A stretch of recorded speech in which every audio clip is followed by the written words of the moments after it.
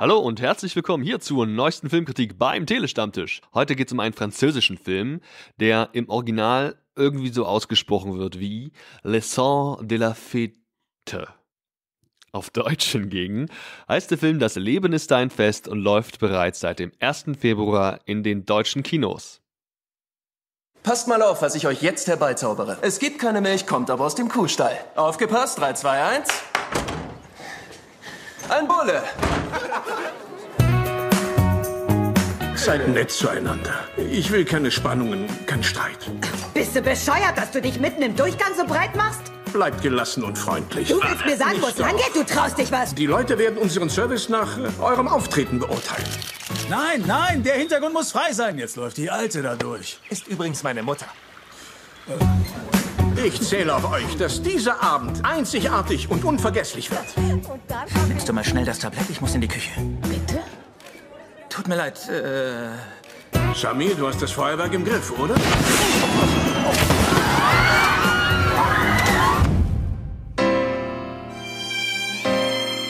Euch steht heute ein Wahnsinnsabend bevor. Schlicht, schick und angenehm.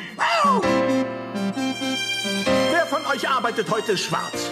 Ihr müsst die Hand nicht so hochheben. Das hier genügt völlig.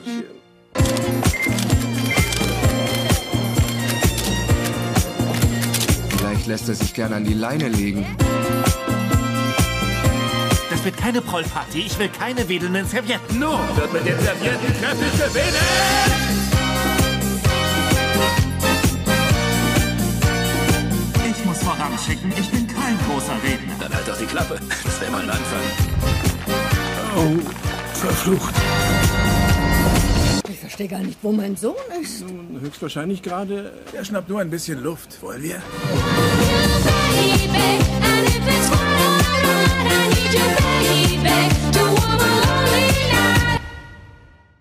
Der Film Das Leben ist ein Fest geht 116 Minuten und hat eine Altersfreigabe ab 0 Jahren. Der Film kommt von den beiden Regisseuren, denen wir auch schon ziemlich beste Freunde zu verdanken haben. Achtung, jetzt wird's tricky, weil jetzt geht's um Namen und ihr wisst, mit Namen hab ich's nicht so und gerade wenn das hier französische Namen sein sollten, und das sind sie, glaube ich, wird es besonders schwer für mich. Die beiden Herrschaften heißen Oliver Nakache und Eric Toledano und ja, die beiden präsentieren uns hier eben eine äh, französische Interpretation dieses Wedding Planner Themas, in dem der ähm, eine, eine Hochzeitsgesellschaft äh, hier quasi äh, die Gesamthandlung erzählt. Da ist ähm, auf der einen Seite natürlich das Hochzeitspaar mit den jeweiligen Gästen und natürlich ähm, ja das komplette Team hinter dem eigentlichen Wedding Planner, also quasi die Firma, die dann da die Organisation des Catering und den ganzen Service übernimmt. An der Spitze dieses Teams, der eigentliche Wedding Planner, ist Max Angely, der gespielt wird von Jean-Pierre Bacry. Der gute Mann hat schon einiges an Erfahrung gesammelt und soll jetzt hier eben die Hochzeit des Pärchens Pierre und Helena organisieren.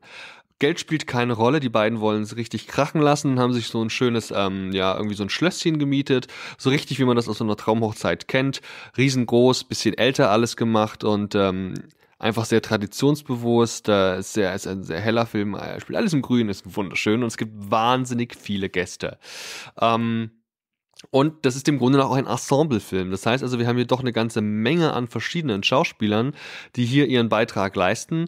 Und es ist natürlich jetzt nicht so einfach, da im Detail auf alles einzugehen, aber ich möchte doch so ein paar Aspekte des Films rausgreifen. Ähm, was man vielleicht auch sagen sollte, bevor wir jetzt zu sehr auf die Story eingehen, ich würde den Trailer an eurer Stelle nicht schauen. Geht einfach davon aus, dass euch eine fluffige, lockere, und auch eben inhaltlich relativ flache französische Komödie erwartet. Schaut euch den Trailer nicht an, denn dann kennt ihr eigentlich schon die wichtigen und we äh, wesentlichen Szenen. Gerade das Ende, das dann doch vielleicht noch den größten Lacher bereithält, wird dort völlig vorweggenommen. Dieser Wedding Planner also, dieser Hochzeitsplaner Max, ähm, soll die Hochzeit eben organisieren, bringt dafür sein komplettes Team mit und wie gesagt, dieses Pärchen will es halt ganz schön krachen lassen. Dieser Max, dieser Wedding Planner, der hat unter anderem eine Affäre mit einer seiner Mitarbeiterinnen, äh, Josiane oder so, gespielt von Josar Clement, die ähm, ja, da auch einen wesentlichen Teil in der Crew trägt. Das muss man sich einfach so vorstellen, da hat jeder seine Aufgabe. Da gibt es welche, die machen mehr so die administrative Seite, welche, die sind so Art Chef-Service-Kräfte, da gibt es welche, die, äh, den Sänger gibt es natürlich, den Entertainer, der dafür sorgt, dass da auch ein bisschen Stimmung ins Haus kommt. Ähm, da gibt es die Köche, da gibt es also eine ganze Menge Leute, Leute, die schwarz beschäftigt werden, Leute, die legal dort arbeiten. Und ähm, wie gesagt, gibt es eben diese Mitarbeiterin Josiane, mit der er eine Affäre hat. Eigentlich ist er nämlich noch verheiratet mit seiner Frau, die wir gar nicht im Film sehen, mit der er nur gelegentlich telefoniert. Und das bringt so ein bisschen auch so ein, ja, so ein, so ein, so ein tragikromantischen Aspekt natürlich mit in den Film hinein. Hinzu kommt sein Schwager, der gespielt wird von Vincent Macchia. Der, ja, ist so ein bisschen bisschen äh, ja so ein Typ, der in den Tag hineinlebt, äh, auch von auf seine Klamotten nicht viel Wert legt und ähm, ja recht schnell kommt raus, dass er anscheinend mit der Braut irgendwas zu tun hatte und da so eine gemeinsame Vergangenheit hat. Dann gibt es eben beispielsweise noch den Fotograf Guy oder Guy, wahrscheinlich eher Guy, gespielt von Jean-Paul Rouff. Der gute Mann hat damit zum Beispiel zu kämpfen, dass es bei Hochzeiten heutzutage wohl gar nicht mehr so üblich ist, überhaupt noch einen richtigen Fotografen anzustellen. Alle haben ihre Handys und Kameras dabei. Viele kennen Leute, die sowieso semi-professionell Fotografien machen können. Und ähm, ja, er hat eben immer dünner währende Auftragsdichte. Das heißt also, ähm, er ist dem Veranstalter Max, also dem, dem Chef der, der, der Wedding, dem Wedding Planner selbst eben einiges, äh, hat ihm einiges zu verdanken, dass er überhaupt noch Aufträge für diverse Sachen reinkommen. Auch hier ist er jetzt dabei, benimmt sich aber ziemlich daneben. Er frisst beispielsweise das Buffet leer und ähm, bandelt auch so ein bisschen mit der Mutter des Bräutigams an. Das ist ganz lustig, aber vielleicht nicht die äh, vorbildlichste Art, mit diesen Gästen umzugehen. Er hat noch einen Praktikanten am Start, den er immer versucht, ein bisschen was beizubringen. Der Typ ähm, ist extrem entspannt, ist ein junger Typ, halt ein junger Praktikant und das bringt so ein bisschen Spaß mit in den ganzen ganzen Film hinein. Zwei weitere wichtige Charaktere ist einmal dieser Ardell, wird gespielt von, jetzt wird es spannend, Ai Haidara. Und ähm, ja, die ist wie gesagt so eine Art Stellvertreterin des Chefs, macht da die ganze Organisation und die wiederum hat so ein bisschen Clinch mit diesem Entertainer, diesem Sänger, den ich schon angesprochen habe, ähm, namens James, gespielt von Geloche. Geloch. und ja, gut, also ähm, da gibt es natürlich einfach so ein bisschen so einen Twist. Beide haben ein dickes Ego, ähm, wollen sich nicht gern reinreden, reinreden lassen. Gerade er als Sänger, als Entertainer hat da natürlich sein festes Programm mit seiner Band. Er ist halt ein geiler Typ, glaubt er zumindest. Und hat da auch so feste Ideen, was man bei so einer Hochzeit unbedingt machen muss und was man eben nicht machen muss. Das wiederum beißt sich dann auch mit den ähm, Vorstellungen des Bräutigams, der ziemlich genau weiß, was er will und was er nicht will. Das auch deutlich formuliert und ja, da auch zeitweise ein ganz schöner Stinkstiefel sein kann. Wie gesagt, das ist ein Ensemblefilm. Viel mehr Geschichte braucht man hier jetzt auch gar nicht verraten, denn jeden Punkt, den man hier jetzt im Detail äh, erklären würde, wäre einer zu viel. Es geht um diese Hochzeit. Diese Hochzeit hat natürlich ein festes Programm. Währenddessen wir auf der einen Seite erleben, was die Gäste selbst eben mitbekommen, erleben, was es überhaupt für Gäste sind, wo da im Wesentlichen eigentlich der Fokus auf das, ähm, auf das Brautpaar liegt und vielleicht noch auf die Mutter. Haben wir auf der anderen Seite den größten Teil der Handlung, nehmen wir wahr durch das Team vom Wedding Planner, die da eben miteinander nicht unbedingt können, die auch das ein oder andere Problem zu überwinden überwinden haben. Und das ist natürlich so, dass halt da einfach so ein bisschen, da werden halt so zwischenmenschliche Sachen stehen da im Vordergrund. Das wiederum ist auch alles, was man zur Handlung eigentlich wissen sollte. Äh, erwartet da mal nicht sonderlich Komplexes. Die Gags über weite Strecken sind relativ flach. Also man muss schon sagen, das ist jetzt hier keine hochintellektuelle Komödie. Ähm, ich bin jetzt insofern auch aus dem Film gegangen, dachte mir so, ja, ganz nett. Meiner Mutter hätte es ganz bestimmt gefallen, aber ich fühle mich jetzt nicht so angesprochen. Das ist nichts gegen dich, Mama, aber du hast natürlich einen anderen Humor und ich glaube, dir hat der Bully-Paradenfilm auch ganz gut gefallen. Insofern wärst du vielleicht auch ganz gut aufgehoben. Das ist, ähm, naja, ganz nett, wie gesagt, aber ähm, also das ist, ich brauchte ihn kein zweites Mal gucken. Und das ist im Endeffekt so, dass die Figuren hier ganz klar das Highlight des Films darstellen und diese im Detail einfach auch Spaß machen, sie zu beobachten, auch zu gucken, wie sie mit Problemen umgehen. Wie das eben Backstage bei so einer Hochzeit aussieht, ist natürlich auch ganz interessant. Es gibt später ein Thema, da ähm, kommt so ein Steuerprüfer wohl vorbei und zumindest denken alle, es ist ein Steuerprüfer. Der Wedding Planner selbst, der Max, hat eben Angst, dass dieser Steuerfahnder eigentlich mal die Jobs kontrollieren will, gucken, ob die auch alle angemeldet sind oder ob die illegal dort arbeiten. Und ähm, das ist ganz nett. Im Endeffekt ist der Film wirklich sehr hektisch. Ich weiß nicht ganz genau, woran das liegt. Ich habe das Gefühl, viele französische Filme, zumindest so Komödien, und das ist ähm, ja so ein Eindruck, den ich spätestens seit Louis Dufiné habe, sind immer irgendwie sehr hektisch. Und auch in dem Film ist es so, dass das Interagieren der Figuren, die Dialoge über weite Strecken sehr hektisch wirken können und das eben auch tun halt. Und das ist irgendwie anstrengend zu gucken. Also ich persönlich finde das nicht lustig. Ich finde es eher unangenehm und äh, kann mit dieser Hektik nichts anfangen.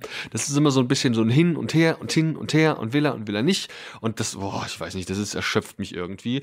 Ähm, ja, das ist so ein bisschen das, was man, was ich, was ich persönlich als typische französische Komödie einstufen würde. Äh, belehrt mich eines Besseren, falls dem nicht so ist. Mein ganz großes Highlight im Film ist das eigentliche Finale. Als am Ende die Hochzeit rum ist, alles so ein bisschen zur Ruhe kehrt und man sich fragt, okay, wie kann man diese doch sehr turbulente Nacht ähm, jetzt irgendwie zu einem Abschluss bringen. Da gibt es eine finale Szene und in dieser finalen Szene läuft eine ganz tolle Musik. Die habe ich sofort, als ich daheim war, dann auch mit Spotify mir noch ein paar Mal gegeben. Ähm, also die finale Musik im Film, die ist so dermaßen gut. Also ich war richtig so, das ist so, da bin ich so richtig nochmal aus dem Kinosessel so irgendwie so, ich will nicht sagen wach geworden, aber so wirklich, da ist mein Herz aufgeblüht. Fazit, der Film ist in Ordnung, er ist sehr flache, sehr äh, kurzweilige Unterhaltung, an die man sich nicht erinnern wird, wenn man da noch ein, zwei, drei Tage später nochmal drüber nachdenkt. Er ist auf jeden Fall mal was Nettes, was man mal gucken kann, wenn man sich einfach nur mal schön berieseln lassen möchte, aber erwartet hier bitte nicht zu viel. Er hat auf gar keinen Fall die Qualitäten, die es ein ziemlich beste Freunde hatte und bekommt von mir deswegen insgesamt auch nur drei von fünf Sternen. Er ist in Ordnung. Er ist, äh, es ist auch ein Stück weit sein Geld wert. Ja, das muss man ja auch mal sagen. Die Kinotickets kosten ja ein paar Euro. Ähm, aber ihr könnt genauso gut auch warten, bis ihr den irgendwann mal auf DVD oder Blu-ray oder im Stream oder wo auch immer herbekommt. Denn den müsst ihr euch wirklich nicht im Kino angucken. Leute, ich danke euch vielmals, dass ihr mir zugehört habt und heute hier bei der Filmkritik dabei gewesen seid. Wie immer gilt, ihr könnt mir gerne irgendwie überall folgen, sowohl auf Instagram, Facebook als eben auch auf Twitter. Ihr könnt mich überall liken, die ganzen Beiträge auch teilen. Ich freue mich bei iTunes über Bewertungen und wir haben jetzt seit neuestem mal unseren Blog, tele stammtisch.de ist unsere Seite, auf die, über die ihr auf alles zugreifen könnt, was da wichtig ist. Ja, wenn ihr Bock habt, dann meldet euch doch einfach mal für die nächste reguläre Ausgabe an. Wir sind eine offene Podcast-Runde, bei der jeder Teilnehmer seine Themen selbst mitbringt. Es geht generell so ein bisschen um Hobbys. Und wenn du ein tolles Hobby hast, beispielsweise eine schicke Sportart, hast eine tolle Briefmarkensammlung oder hast mal, keine Ahnung, zuletzt auch einen Film im Kino gesehen, dann melde dich doch bei uns an, gern auch schon mal via Mail unter dertelestammtisch at gmail.com. Dort könnt ihr euch anmelden und dann auch beim nächsten Telestammtisch mal teilnehmen. Vielen Dank für die Aufmerksamkeit bis zum nächsten Mal. Ciao.